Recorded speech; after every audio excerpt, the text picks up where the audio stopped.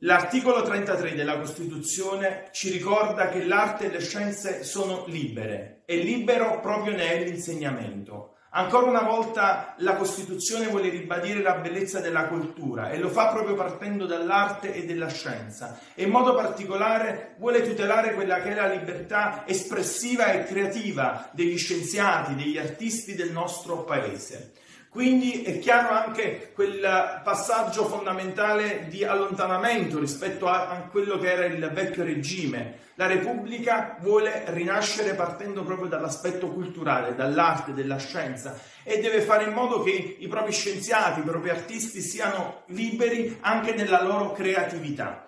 Uh, soprattutto in questo periodo l'arte e la scienza però vivono un momento difficile. Uh, pensiamo in modo particolare a quanto sta soffrendo il mondo dell'arte, il mondo del teatro, il mondo del cinema e, um, e quanti artisti non sono in grado di poter esprimere questa libertà. Quindi ancora una volta è necessario oggi un intervento che riporti di nuovo al centro l'aspetto culturale come anche la, il secondo comma dell'articolo 33 parla di scuole, in modo particolare stabilisce che lo Stato dà l'ordinamento generale della scuola, ma poi la scuola è autonoma, la scuola deve essere libera anche qui nella sua espressione, nella sua creatività. Uh, però ribadisce l'articolo 33 un concetto importante, un concetto fondamentale, ossia che la scuola deve essere aperta a tutti. Quindi non deve essere una scuola come era in passato della Costituzione, ossia una scuola di una classe sociale, una scuola d'elite, una scuola riservata e destinata soltanto ai ricchi, ma deve essere una scuola proprio che è aperta a tutti, a tutte le classi sociali, perché rappresenta il nostro pilastro.